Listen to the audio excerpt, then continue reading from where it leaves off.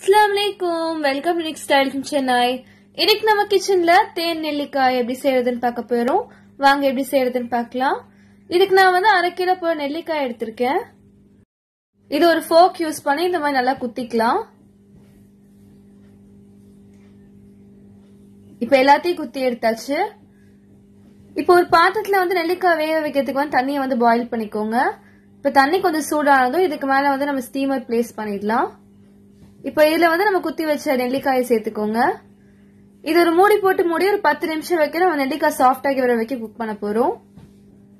இப்போ பத்து நிமிஷத்துக்கு அப்புறம் நெல்லிக்காய் நல்லா சாஃப்ட் ஆயிடுச்சு. அடுப்பை ஆஃப் பண்ணி ஆற வச்சுக்கோங்க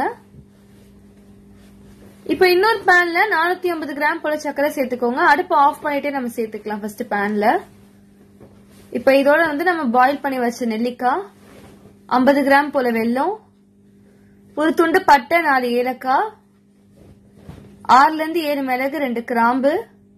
இப்ப அடுப்பு ஆன் பண்ணிட்டு இதை நம்ம ஒரு வாட்டி வந்து மிக்ஸ் பண்ணி விட்டுடலாம். இப்ப சக்கரை கரைஞ்சதும் அடுப்பை வந்து மீடியம் ஃபிளேம்ல வச்சுட்டு இதை ஒரு மூடி போட்டு மூடி ஒரு பதினஞ்சு நிமிஷம் குக் பண்ண போறோம். மொத்தமா நம்ம ஒன் ஹவர் வந்து குக் பண்ணுவோம். இப்ப பதினஞ்சு நிமிஷத்துக்கு அப்புறம் லெட் ஓபன் பண்ணி இது ஒரு வாட்டி வந்து மிக்ஸ் பண்ணி விட்டுக்கோங்க.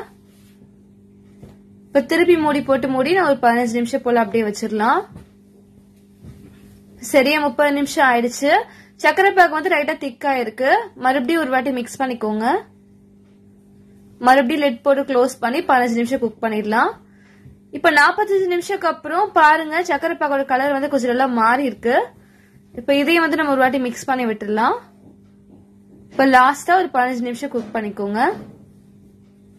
இப்ப கடைசியா ஒன் ஹவருக்கு அப்புறம் நம்ம லிட்டை ஓபன் பண்ணி பார்க்கலாம். உங்களுக்கு வந்து கம்பி பதம் வந்து நல்லா த்ரெட் லைக் கன்சிஸ்டன்சில வரும் நூல் மாதிரி வரும். இப்ப நம்ம அடுப்பு ஆஃப் பண்ணி இது ரெண்டு ஹவர் போல அப்படியே வச்சிடலாம். நெல்லிக்காய் நல்ல கலர் மாதிரி நல்லா சக்கரை பாக்கு திக்காகி வரும். இப்ப ரெண்டு ஹவருக்கு அப்புறம் நெல்லிக்காய் வந்து நல்லா கலர் மாதிரி சுகர் சிரப் வந்து நல்லா திக் ஆயிடுச்சு. இது ஒரு ஏர்டைட்டான கண்டெய்னர்ல போட்டு நீங்க ஒரு மூணு மாசம் வரைக்கும் ஸ்டோர் பண்ணிக்கலாம்.